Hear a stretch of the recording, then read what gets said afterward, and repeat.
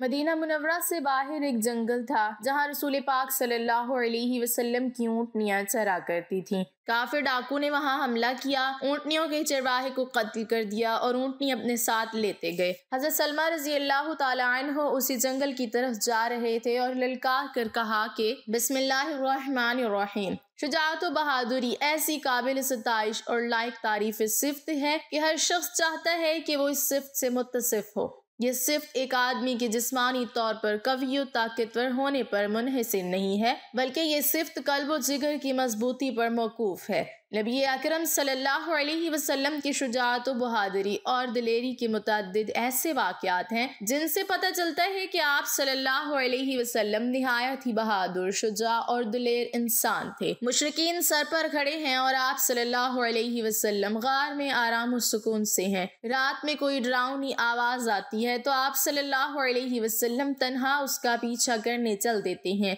जब जंग के शौले भड़कते हैं तो आप सल्लल्लाहु अलैहि वसल्लम पहली सफ में दुश्मनों से मुकाबले के लिए हाजिर हैं। आप सल्लल्लाहु अलैहि वसल्लम अना नबीला कसिब अना इब्ने अब्दुल मुत्तलिब का नारा बुलंद करके दुश्मनों को मुतनबा करते हैं। कि आप सल्लल्लाहु अलैहि वसल्लम मैदान जंग से फरार होने वाले नहीं है, बल्कि डट कर दुश्मनों से लड़ने वाले हैं। आप सल्लल्लाहु अलैहि वसल्लम की शुजात व बहादुरी के चंद नमूने यहाँ पेश किए जाते हैं। जब रसूलुल्लाह सल्लल्लाहु अलैहि वसल्लम हज़रत अबू बकर सिद्दीक रज़ी अल्लाह तु के साथ मक्का मुकरमा से हिजरत करके मदीना मुनवरा के लिए रवाना हो रहे थे तो मुशरकिन मक्का ने आप सल्लल्लाहु अलैहि वसल्लम की गिरफ्तारी पर सौ ऊँटों का इनाम मुकर किया। इस इनाम के हिरस तमा में बहुत से मुशरकिन आप सल्लल्लाहु अलैहि वसल्लम की तलाश में सरगिरदा और हैरान थे। हर मुमकिन सिमतों में तलाश करते करते वो लोग गार सौर तक पहुँच गए, जहाँ आप सल्लल्लाहु अलैहि वसल्लम और अबू बकर रज़ी अल्लाह तु पन्हा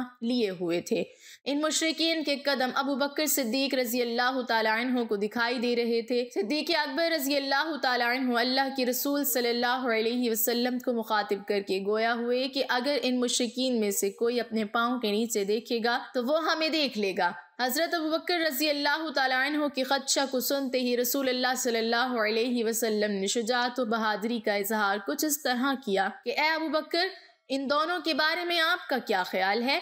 जिनके साथ तीसरा खुदा है। सवालिया अंदाज में आप सल्लल्लाहु अलैहि वसल्लम का ये तशफी बख्श जवाब। सिद्दीक अकबर रज़ी अल्लाह तु की खौफ व हिरास को ख़त्म करने और तसली देने के लिए काफ़ी था। हज़रत अबू बकर सिद्दीक रज़ी अल्लाह तु इस वाक़े की मंजर कशी यूँ करते हैं, जब हम खारिज सौर में थे तो मुश्रिकों के पाँव को देखा कि वो हमारे सरों पर चढ़ आए थे। तो मैंने कहा, या रसूल अल्लाह सल्लल्लाहु इनमें से कोई अपने पाँव के नीचे देख ले तो यकीनी तौर पर हमें देख लेगा। तो आप सल्लल्लाहु अलैहि वसल्लम ने जवाब दिया, ए अबू बकर, इन दोनों के बारे में आपका क्या गुमान है?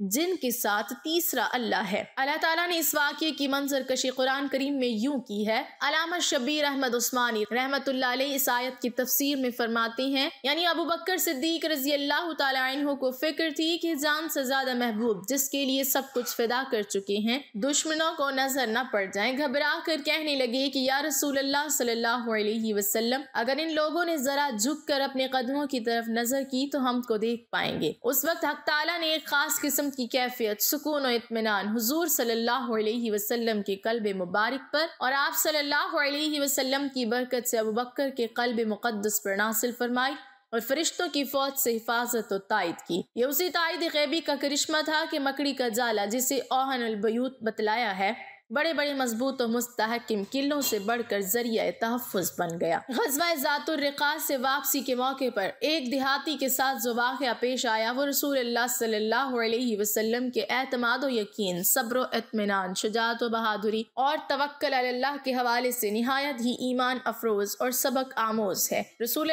सल्लल्लाहु अलैहि वसल्लम नजद के इलाका में साहब इकराम रज़ी अल्लाह के साथ जिहाद के लिए गए। जब लौट कर आ रहे थे तो आप सल्लल्लाहु वसल्लम कसीर खारदार, दरख्तों की वादी से गुजर रहे थे कि कैलोला का वक्त हो गया। लिहाजा आप सल्लल्लाहु अलैहि वसल्लम सहाबा कराम के साथ उसी मकाम पर रुक गए। सहाबा कराम रज़ी अल्लाह दरख्तों के साय में मुंतशिर होकर थोड़ी देर के लिए आराम फरमाने लगे। तलवार को दरख्त पर लटका कर आप सल्लल्लाहु अलैहि वसल्लम भी कीकर के दरख्त के नीचे केलोला के लिए लेट गए।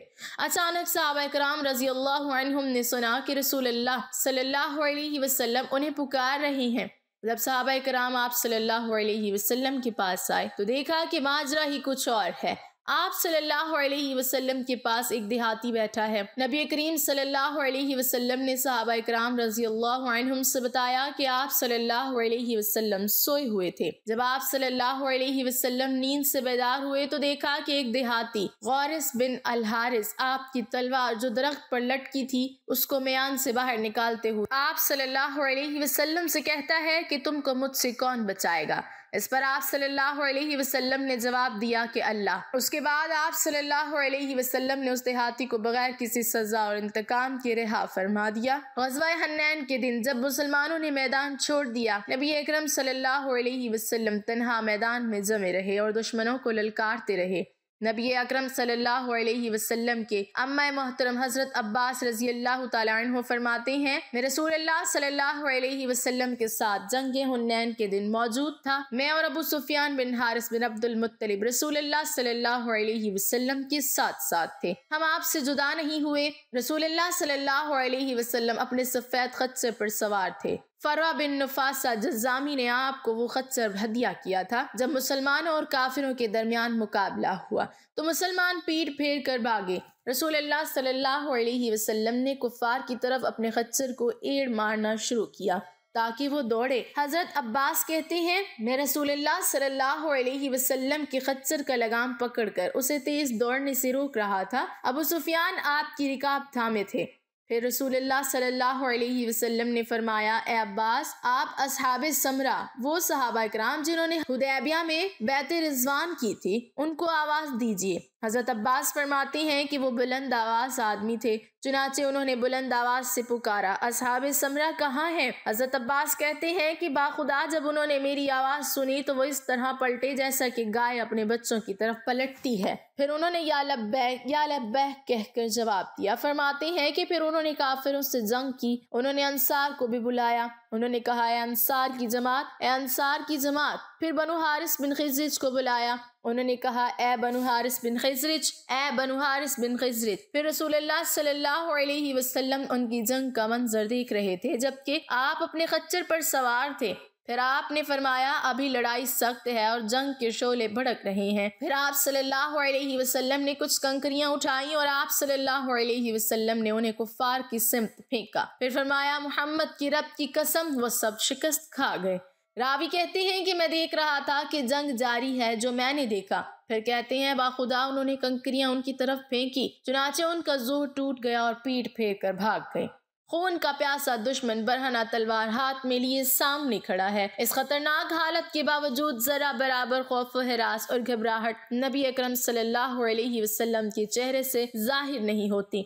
आप सल्लल्लाहु अलैहि वसल्लम ने निहायत इतमान और सुकून के साथ जवाब दिया। वो देहाती आप सल्लल्लाहु अलैहि वसल्लम की तवक्ल अल्लाह के रोब, सब्र, इस्तकलाल और शुजात व बहादुरी से मरूब व खाइफ होकर लरसने लगा और तलवार उसके हाथ से गिर गई। ये वाक़ रसूल अकरम सल्लल्लाहु अलैहि शुजात व बहादुरी और अतमाद तवक्ल अल्लाह का बेहतरीन नमूना है। फिर उस देहाती से इंतकाम न लेना, उसको माफ़ कर देना और बगैर किसी सजा दिए रिहा कर देना। आप सल्लल्लाहु अलैहि की अफूदर गुजर की आला मिसाल है। हज़रत अनस बयान करते हैं कि नबी अकरम सल्लल्लाहु अलैहि वसल्लम लोगों में सबसे ज़्यादा खूबसूरत, सबसे ज़्यादा सखी और सबसे ज़्यादा बहादुर थे। फिर आपकी बहादुरी की मिसाल बयान करते हुए एक वाक्य नकल करते हैं कि एक बार हालियान मदीना मुनवरा रात में किसी आवाज़ की वजह से घबरा गए। जिधर से आवाज़ आ रही थी, लोग उस तरफ़ चल पड़े। ये बहादुरी की बात थी कि बगैर किसी को साथ लिए गर्दन में तलवार लटकाए तनहा। नबी सल्लल्लाहु अलैहि वसल्लम उन लोगों से पहले इस आवाज़ की सिमत में जा चुके थे। आप सल्लल्लाहु अलैहि वसल्लम की इन लोगों से लौटते हुए मुलाकात हुई, जबकि आप सल्लल्लाहु अलैहि वसल्लम फरमा रहे थे, मत घबराओ मत घबराओ। इसलिए कि आप सल्लल्लाहु अलैहि वसल्लम इस तरफ़ से देख कर आ चुके हैं, इधर कुछ भी नहीं था। हजूर अक्रम वसल्लम जख्मी हो गए तो चारों तरफ़ से कुफ़ार ने आप पर तीरों तलवार का वार शुरू कर दिया और कुफ़ार का बेपना हजूम आपकी हर चहार तरफ़ से हमला करने लगा, जिससे आप कुफ़ार के नरगा में महसूर होने लगे। ये मंजर देख कर जानसार साहबा रज़ी अल्लाह का जोश जानिसारी से खून खोलने लगा और वो अपना सर हथेली पर रख कर आपको बचाने के लिए उस जंग की आग में कूद पड़े और आपके गिर्द एक हल्का बना लिया। हज़रत अबू दजाना रज़ी अल्लाह तु झुक कर आपके लिए ढाल बन गए और चारों तरफ़ से जो तलवारें बरस रही थी, उनको वो अपनी पुष्ट पर लेते रहे और आप तक किसी तलवार या नेजी की मार को पहुँचने ही नहीं देते थे। हज़रत तलहा रज़ी अल्लाह तु की जानिसारी का ये आलम था कि वो कुफ्फार की तलवारों के वार को अपने हाथ पर रोकते थे, यहाँ तक कि उनका एक हाथ कट कर शल हो गया। और उनके बदन पर पैंतीस या उनतालीस जख्म लगे। जान सहाबा रज़ी अल्लाह ने हजूर सल्ला वसम की हिफाजत में अपनी जानों की परवाह नहीं की और ऐसी बहादुरी और जाबाजी से जंग करते रहे कि तारीख़ आलम में उसकी मिसाल नहीं मिल सकती। हज़रत अबू तलहा रज़ी अल्लाह तु निशानाबाजी में मशहूर थे। उन्होंने इस मौके पर इस कदर तीर बरसाए के कई कमाने टूट गईं। उन्होंने हुजूर सल्लल्लाहु अलैहि वसल्लम को अपनी पीठ के पीछे बिठा लिया था ताकि दुश्मनों के तीर या तलवार का कोई वार आप पर ना आ सके। कभी कभी आप दुश्मनों की फौज को देखने के लिए गर्दन उठाते तो हज़रत तलहा रज़ी अल्लाह अर्ज़ करते या रसूल सल्लल्लाहु अलैहि मेरे माँ बाप आप पर कुर्बान आप गर्दन न उठाएँ। कहीं ऐसा ना हो कि दुश्मनों का कोई तीर आपको लग जाए। या रसूल सल्लल्लाहु अलैहि वसल्लम, आप मेरी पीठ के पीछे ही रहें। मेरा सीना आपके लिए ढाल बना हुआ है। हज़रत सलमा रज़ी अल्लाह रसूल सल्लल्लाहु अलैहि वसल्लम के वफादार सहाबी थे। बड़े चुस्त और फुर्तीले और तीर अंदाजी में भी बड़ी माहिराना शान रखते थे। एक दफ़ा अजीब हादसा नूरमा हुआ। मदीना मुनवरा से बाहर एक जंगल था, जहाँ रसूल पाक सल्लल्लाहु अलैहि वसल्लम की ऊँटनियाँ चरा करती थीं। काफिर डाकुओं ने वहाँ हमला किया, ऊँटनियों के चरवाहे को कत्ल कर दिया और ऊँटनियाँ अपने साथ लेते गए।